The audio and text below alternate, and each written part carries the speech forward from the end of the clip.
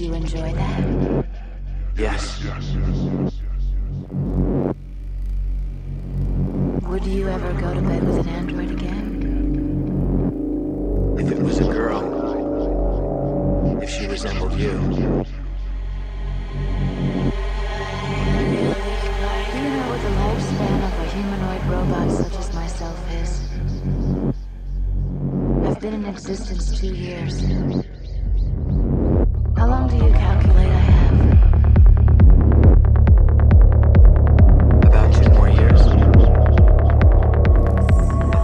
I'm